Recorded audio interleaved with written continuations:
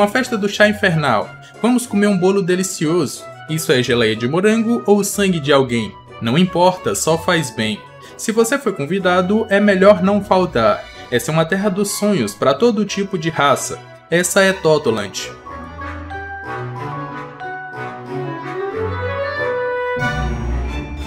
A Charlotte Lilin era uma criança humana que cresceu anormalmente ao ponto de ser facilmente confundida com uma criança da tribo dos gigantes. Vivendo entre os humanos, ela causou muitos desastres no seu país. A junção de inocência e superforça definitivamente não combina. Seus pais abandonaram ela em Elbaf porque sabiam que uma madre conhecida como Santa Mãe iria acolher e cuidar dela. O nome dessa madre era Carmel. Ela era conhecida como Santa Mãe, esse nome era porque ela cuidava de crianças que não tinham outro lugar para ir. Ela não se importava com classe ou raça, abrigando todos numa instituição chamada de Lar das Ovelhas. Um dos grandes feitos dessa nobre madre foi impedir que piratas gigantes, remanescentes dos antigos piratas guerreiros gigantes, fossem executados. Ao intervir na execução, suas palavras mexiam com o clima, como se Deus estivesse falando mediante a ela. Carmel então acolheu a Lilinha, assim como fazia com qualquer outra criança. O interessante é que todas elas sabiam que tinham sido abandonadas por seus pais. Após isso, a Lilin passou a viver em Elbaf, um lugar que parecia ser feito para o seu tamanho. Ela passou toda a sua vida sendo maior que todos ao seu redor, mas nesse lugar era diferente. As pessoas e as casas eram proporcionais ao seu tamanho. Ela sentiu algo indescritível e reconfortante, um sentimento de pertencimento, esse aqui era o local perfeito para ela. Mas como eu tinha citado, a junção de super força e inocência era uma combinação muito perigosa. Como qualquer criança, ela tinha a inocência de que podia ajudar qualquer um e resolver qualquer problema, para assim deixar todo mundo feliz. Uma vez ela viu um urso e um lobo brigando. Como não é legal brigar, ela prendeu os dois em uma gaiola para que eles fizessem as pazes. Mas o Sr. Urso acabou comendo o Sr. Lobo. Como ele estava sendo malvado, ela matou ele com um golpe só. Para tudo que a Lilin fazia, a mãe Carmel sempre relevava, como se não se importasse, afinal de contas ela só queria ser gentil. Quando ela tentava arrancar os braços de uma criança da tribo dos braços longos, ou arrancar as guelras de uma criança tritão, a Carmel sempre perdoava a Lilin. Com isso se passaram 10 meses desde que ela foi morar em Elbaf, até que chegou o último dia antes do jejum de 12 dias para o festival de solstício. Nesse dia, todos os gigantes comem senla, uma sobremesa doce para que eles consigam os nutrientes necessários para passar os 12 dias de jejum. Quando a Lilin provou essa sobremesa, ela não conseguiu se conter de tanta felicidade e começou a comer desesperadamente até separada por outros gigantes. Após isso, os 12 dias de jejum finalmente começam. No terceiro dia, ela já estava com tanta fome que parecia que ia morrer. No sexto dia, ela já não podia mais suportar o desejo por comer senla no sétimo dia, ela explodiu. Seu primeiro surto alimentar aconteceu. Sozinha, ela destruiu uma vila inteira de gigantes e derrotou vários guerreiros que se puseram em sua frente. Quando Barba de Cachoeira, que é um dos gigantes mais velhos do mundo, atacou a Lilin para impedi-la, ela simplesmente quebrou sua espada com as mãos limpas e ainda derrotou o gigante facilmente. Precisou da união de vários guerreiros gigantes juntos para contê-la. Foi só quando uma das gigantes deu Senla ou o restante da Senla para Lilin que ela acabou se satisfazendo e caiu no sono, e assim o seu ataque cessou. Foi só após isso que o Barba Marrom, que é o companheiro do Barba de Cachoeira, aproveitou essa oportunidade para matar a Lilin. Só que a Madre Carmel não deixou, ela entrou na frente para impedi-lo. Ele disse que para um gigante guerreiro não importa o tempo de vida que eles vivem, mas sim o jeito que eles morrem. Mesmo entendendo o ponto do gigante, a Madre Carmel não podia deixar uma criança abandonada morrer daquele jeito. Ela promete que se ele poupar a vida da Lilin, todos do Lar das Ovelhas vão deixar Elbaf, e só assim a vida dela pôde ser salva. Os acontecimentos desse dia se espalharam por todos os reinos dos gigantes, onde uma menina demoníaca matou um dos heróis gigantes, e a Madre Carmel acabou realizando um milagre. Como prometido, a Mãe Carmel e as crianças deixaram Elbaf. Em uma nova ilha foi construído um novo Lar das Ovelhas. Em questão de dias, tudo tinha voltado à sua normalidade, e mesmo passando por tudo aquilo, a mãe Carmel nunca deixou de sorrir. Ela tinha que se manter sorridente para que as crianças sempre se mantivessem felizes. O Lar das Ovelhas era uma instituição que recebia toda e qualquer criança problemática. Elas então renasceriam sob o miraculoso poder da Madre, para que um dia elas pudessem ser adotadas por pessoas boas. Mas por debaixo dos panos, o que realmente acontecia era que as crianças eram vendidas para o governo mundial. A Madre Carmel era uma traficante de órfãos. Sua alcunha no submundo era a Bruxa da Montanha. Ela já estava nesse ramo há 50 anos. Foi por ela ter salvo os piratas gigantes da execução que o gigante John Giant pôde se tornar o primeiro marinheiro gigante. Ela sempre enganou as crianças do lar das ovelhas, e a cada dois anos ela vende uma para o governo mundial. Suas crianças são perfeitas para serem espiãs, porque ninguém consegue rastrear a origem delas. A Lilin é sua maior aposta, tanto que ela preferiu sair da ilha de Albaf a deixá-la morrer. A Carmel sabe que um dia a Lilin tem potencial para fazer parte dos almirantes, ou até mesmo o almirante de frota. Ela pretende ganhar uma bolada vendendo a Lilin e assim acabar ou encerrar o seu negócio. No dia do aniversário de 6 anos da Lilin, todas as crianças prepararam um croquembouchin para ela. Esse doce era feito da junção de Senlan, que era o doce que ela tanto gostava. Em volta das outras crianças em uma festa do chá, esse foi o dia mais feliz da vida dela. Enquanto comia, ela mal conseguia enxergar de tanto chorar de alegria. Depois de comer, ela notou que todo mundo havia desaparecido. O que restou foi apenas pedaços da mesa e roupas rasgadas, no que possivelmente pode ter sido o primeiro episódio de canibalismo em One Piece. Mesmo que ela não soubesse o que aconteceu, tiveram duas testemunhas que presenciaram tudo. Um deles foi um gigante guerreiro de Albaf que cuidava do lar das ovelhas. Logo quando ele foi fazer uma visita, presenciou tudo aquilo. Horrorizado, ele fugiu e nunca mais pisou naquela ilha. Ele contou tudo o que viu aos gigantes de Elbaf, e a história acabou parando nos ouvidos de todos os gigantes. A Lilin se tornou tão repugnante que eles nem mencionam seu nome. A outra testemunha foi um ex-pirata fracassado que vivia algum tempo naquela ilha. Seu nome era Straussen, e diferente do outro, ele achou muito engraçado tudo o que aconteceu. Para ele era um desperdício deixar aquela criança sozinha. Provavelmente ela iria acabar morrendo. Ele promete cuidar dela até sua mãe voltar, e os dois juntos acabam formando os Piratas da Big Mom. Eles pretendem transformar toda a ilha em um país onde não haverá discriminação racial, um país onde todos poderão viver em igualdade. Foi ali que nasceu seu desejo de que todas as raças pudessem ter o seu tamanho. Mais tarde, ela descobre que pode fazer os mesmos truques que a mãe Carmel. De alguma forma, ela adquiriu a Sorosoro no Mi, ou os poderes da Sorosoro no Mi. Juntos eles aterrorizaram os mares e a primeira recompensa da Lilin foi de 50 milhões de Iberis, e ainda como criança. Depois disso foi para 500 milhões ainda quando jovem, e o seu discurso de paz era o seguinte: se todos obedecerem, viverão, mas se não, estarão sendo egoístas e morrerão. Quando ela completou 18 anos, teve seu primeiro filho. Após isso, foi um caminhão de crianças. Ela deu à luz uma vez por ano por 42 anos, ganhando o apelido de Big Mom. No total foram 84 filhos de 43 maridos. Em algum momento ela se tornou parte dos Piratas Hawks, o bando mais forte que já existiu, mas teve que deixar o bando quando Roger e Garp lutaram e desmantelaram esse bando. Foi nessa ocasião que ela deu a Uou no fruta do dragão, para o Kaido. Após isso, ela deu foco no seu bando pirata e acabou se tornando uma Yonkou. No passado, ela já tinha tentado se tornar rei dos piratas antes mesmo do Roger, só que ele conseguiu passar a perna nela usando a voz de todas as coisas para ler o seu poneglyph e chegar a Laftel. Ela também já teve a oportunidade de ter o maior exército do mundo sob o seu comando, e ainda poderia ter acabado com todo o ressentimento dos gigantes depois de tudo que ela fez quando era criança.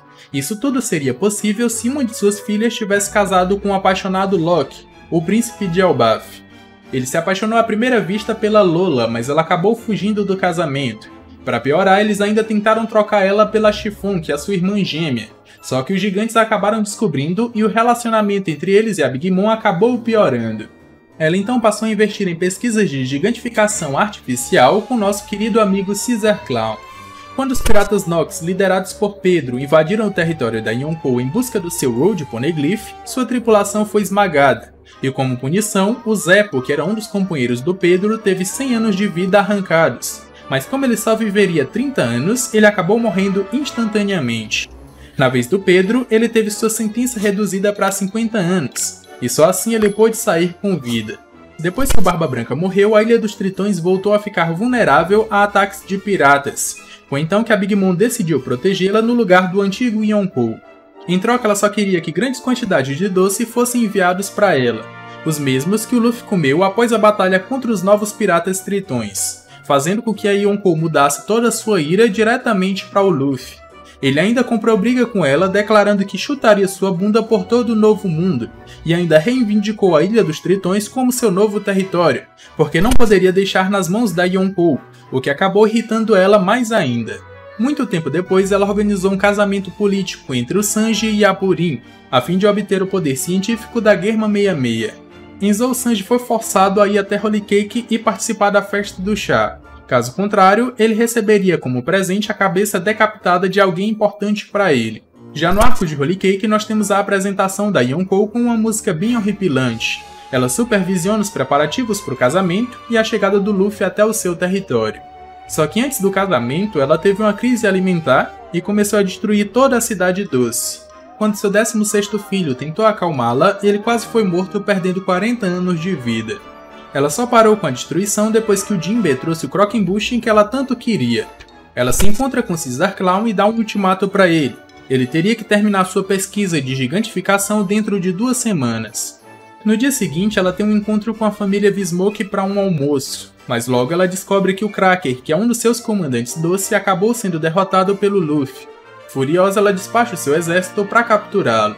Quando ele foi preso, a Yonkou conversou com ele por Dendemushi, e o Luffy compra mais uma briga com a Yonkou. Ele diz que no final vai ser ele que vai ser o vitorioso, ele vai obter o Sanji de volta e ainda vai conseguir fugir.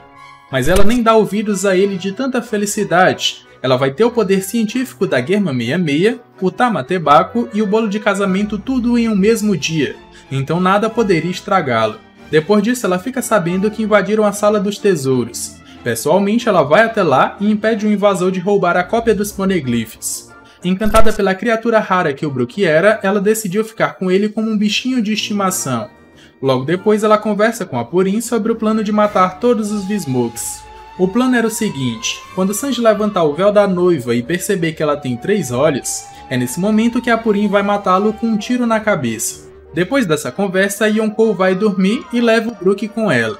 No dia do casamento, ela recebe todos os imperadores do submundo, e como de costume, o retrato da mãe Carmel é posto na mesa. A cerimônia de casamento então começa. No momento combinado para o Sanji levar o tiro, a Purin cai em prantos e não consegue cumprir sua parte no plano. É nesse momento que vários clones do Luffy saem de dentro do bolo da Big Mom. O objetivo dele era destruir a foto da mãe Carmel para que assim a Big Mom ficasse em um estado de choque e pudesse ser morta pelos lançadores cachis criados pelo Caesar Clown. Mas o Katakuri acaba impedindo o Luffy de quebrar o retrato e é nesse momento que o Jinbe aparece e liberta ele. É aqui que ele declara que vai sair do bando da Big Mom ou que está oficialmente deixando seu bando, e quando ela tenta arrancar sua alma, não sai, porque ele não sente medo. Ele não pode sentir medo de um Mary Yonkou, já que ele vai fazer parte do bando do homem que vai se tornar o rei dos piratas. No meio dessa bagunça, um dos clones do Luffy consegue quebrar o retrato da mãe Carmel. Na verdade, esse aí era o Brook. Só que diferente do esperado, ela acabou entrando em um estado de transe, ela meio que não sabia pelo que lamentar. Ela acabou perdendo seu bolo e também teve o retrato da mãe Carmel quebrado. Quando Luffy mostra o retrato quebrado mais uma vez, ela explode em um grito desesperado com o haki do rei, deixando várias pessoas imobilizadas. Quando sua defesa cai e ela rala os joelhos, os piratas Fire Tank disparam os lançadores cachis. Só que eles acabam sendo destruídos só pelo impacto do seu grito antes de atingi-la. O grito também quebra o espelho que todos usariam para fugir. Em meio a todo o desespero, Capone Gang Badge se transforma em um castelo gigante chamado de Big Father, para que todos pudessem se proteger dentro dele. É nesse momento que a Yonkou recobra o juízo e começa a atacar o Big Father. Os Vismokes lutam para que todos consigam fugir, afinal de contas eles foram salvos e não querem ficar devendo nada para o Sanji. Na fuga, Big Mom provoca o Luffy chamando ele de covarde, porque aqui ele não cumpriu sua promessa. Ele se transforma no Gear Force e ataca a Big Mom, declarando que ela vai ser a próxima depois que o Kaido for derrotado, e que no final é ele que vai se tornar o rei dos piratas. Ela ri e afirma que eles não vão conseguir derrotar aquele monstro, e que eles sequer deixarão seu território com vida. Quando tudo parecia acabado com a Yonkou vencendo, o Tamatebaki explode destruindo a base do castelo da Yonkou. O castelo desmorona e cai sobre toda a cidade, se o Strauss não tivesse usado seu poder para transformar tudo aquilo em chantilly e pão de ló, teria sido o fim dos piratas da Big Mom. Os Mugiwaras e os Fire Tank conseguem escapar, só que por pouco tempo, porque a Big Mom entra em um estado de crise de fome desejando o bolo de casamento. Ela começa a destruir toda a cidade, até o Perospero direcioná-la para o Sunny. Ele mentiu dizendo que lá ela iria encontrar um outro bolo, um bolo reserva que os Mugiwaras roubaram. Com isso eles conseguem ganhar algum tempo para que a Purim consiga fazer um novo bolo. A Big Mom alcança os Mugiwaras e ataca com tudo, mas a Nami consegue enganar os Zeus fazendo com que a Yonkou erre o ataque. Ela continua a perseguição até que a Nami usa os Zeus mais uma vez para descarregar todo um ataque muito poderoso na Yonkou, mas que não teve efeito nenhum. Ela continua perseguindo eles até o Sunny, só que o Katakuri já estava no navio e os Mugiwaras são encurralados. Se não fosse o sacrifício do Pedro nesse momento aqui, o navio não teria conseguido zarpar, mas a Big Mom ainda segura o navio ou tenta segurá-lo, mas ela acaba levando o Cup the Buster em cheio bem na cara e fica para trás. Em alto mar, os Mugiwaras pensavam ter escapado da véia doida, mas quando eles percebem, ela tá atrás deles e ainda caminhando sobre o mar. Quando ela chega mais perto, a gente vê que na verdade ela está caminhando sobre uma lesma do mar de doce feita pelo Perospero. Ela cria um home com esse doce que tem a capacidade de manipular a água do mar.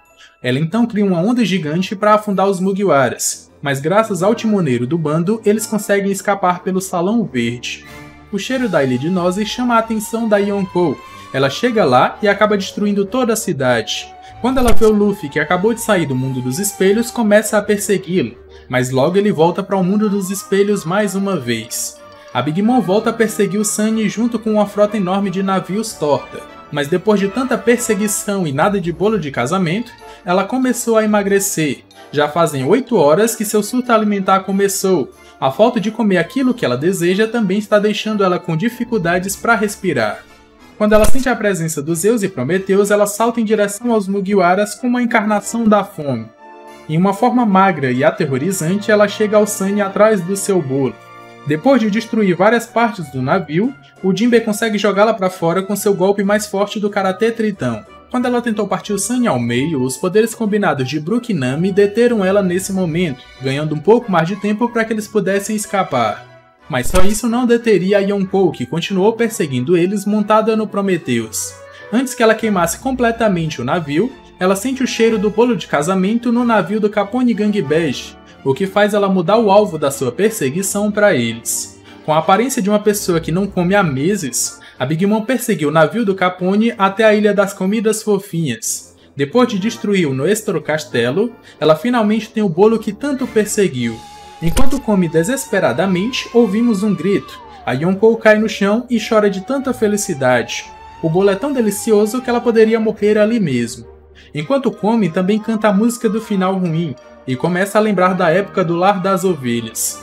Depois que ela termina de comer, seu corpo volta ao normal, mas ela ainda estava completamente eufórica com o gosto daquele bolo. No final, a Guerra 66, os piratas tritões e o Jinbe ficam para trás para cobrir a retaguarda dos Mugiwaras, para que assim eles pudessem fugir. Mas logo a Yonkou aparece na batalha para colocar ordem na casa. Ao som da sua música do final ruim, a pergunta que fica é: vida ou morte? O que aconteceu depois não sabemos, mas posteriormente a Yonkou fica brava ao ler a notícia do jornal que dizia que ela, entre aspas, foi derrotada pelos Mugiwaras. Ela liga pro Kaido e diz que está a caminho de Wano para pegar a cabeça do Luffy. Com isso, todas as forças estão se mobilizando para o maior derramamento de sangue que esse mundo já viu. A Guerra de Wano vai abalar o mundo de One Piece. Algum tempo depois, a Big Mom cumpre o que prometeu. Ela vai até o país de Wano, mas ao subir a cachoeira, seu navio é arremessado de volta pelo King. Com isso, a Big Mom se perde do seu navio e acaba sem memória na praia de Wano. Lá ela é ajudada pelo Chopper e pelos outros, e juntos eles vão até a prisão de Udon local onde ela acaba derrotando o Queen e depois acaba sendo desacordada por ele. Ao ser levada até o Kaido, eles tinham uma batalha intensa, até que eles decidem formar a aliança pirata mais forte que esse mundo já viu.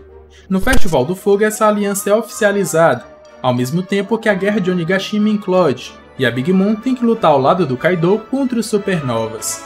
Após isso, ela se separa do Kaido quando cairia nos mares de Wano, Sozinha, ela ainda tem tempo de derrotar Uchi e Peijuan e depois luta contra Lau e Kid. Depois de uma tremenda batalha contra dois supernovas despertos, ela acabou sendo derrotada, e no fim acabou de molho em um bolsão de magma no subsolo de Wano, perdendo tanto a batalha como também o seu título de Yonkou.